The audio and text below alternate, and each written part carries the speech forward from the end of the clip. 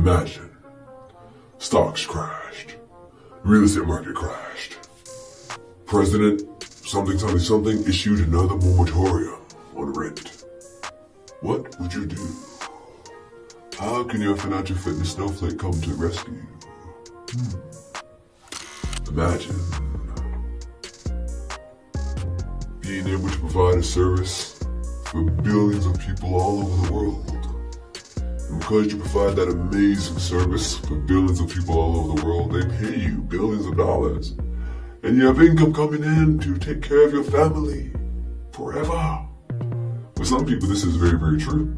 Like the Mars family, and maybe Hershey and Coca Cola, yes. Did you know the Mars family, their corporation is a privately owned, family owned operation? They have like bajillions of dollars. Yeah, bajillions. It's amazing. Or maybe I should say bajillions, okay? Imagine.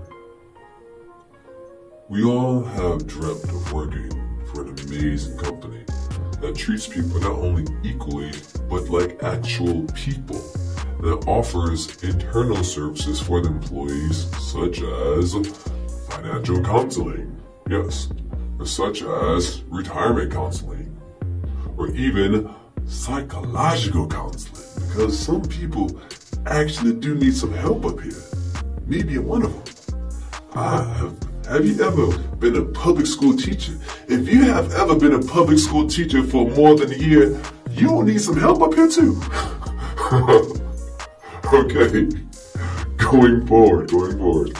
Oh, I'm spending so much truth over here. Uh, and those of you out there who know what I'm talking about, I know you feel me. Imagine working at a company where you make the culture, where you decide what the company culture is. Because company cultures don't have to be a specific way. Cultures were designed, okay, they were designed by a system to get a certain outcome or to preserve a certain something, okay? You can change the culture of a company. Change your culture, change your world entrepreneurial income.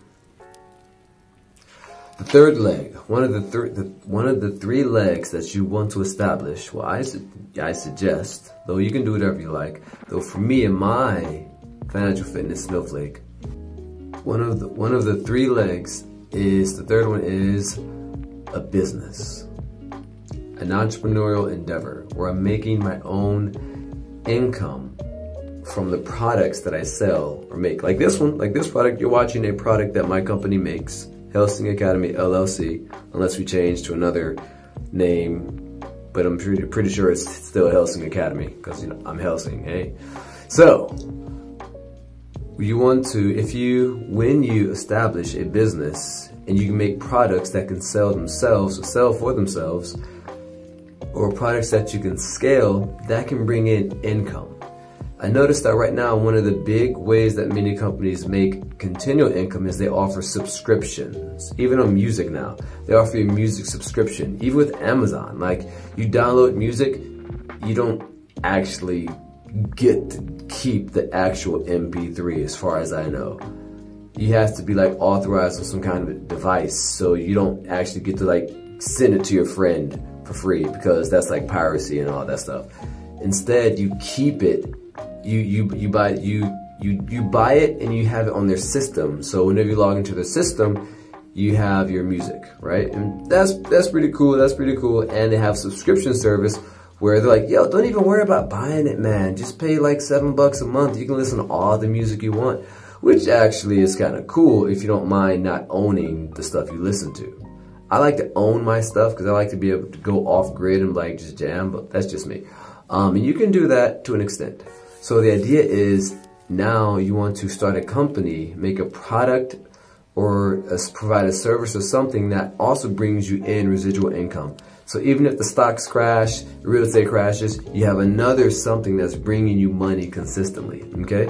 One example is when uh, a young man, awesome man, I'm not gonna say his name, he was really big in real estate. He was making it rain. You're like, And then Corona came with the Corona moratorium, the rent moratorium. And then all of a sudden some people are like, yo, bruv, what are you gonna do now? The house is on cash flow. And he was like, dude, I own three companies. and one of them is a security company. The two of them, maybe two of them are security companies. Business is good. so, um, the main point is you're protecting yourself on several legs, right? In several different areas. So now you have your income coming in from stocks, you got your income coming in from real estate, you got your income coming in from your company, or you can switch one of those out for cryptocurrency or some other type of income producing asset. Whatever it is, you want to make sure you understand it, you know how to do it, and you've allied yourself with other people who are really good at it, and there you go. So that's, that's pretty quick, right? All right, let's move on to the next one entrepreneurial income. Cliff. What is that thing that for no apparent reason sometimes it can just change?